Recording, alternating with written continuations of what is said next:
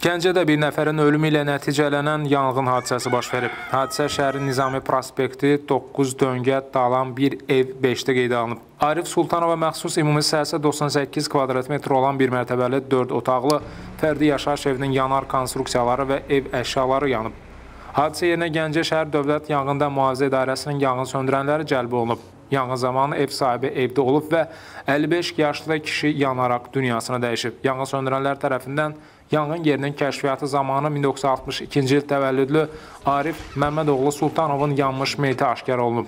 Evin qalan hissəsi yanğından mühafizə edilib. Cabir Məmmədov, İlham Məmmədzadə, Səs TV, Gəncə.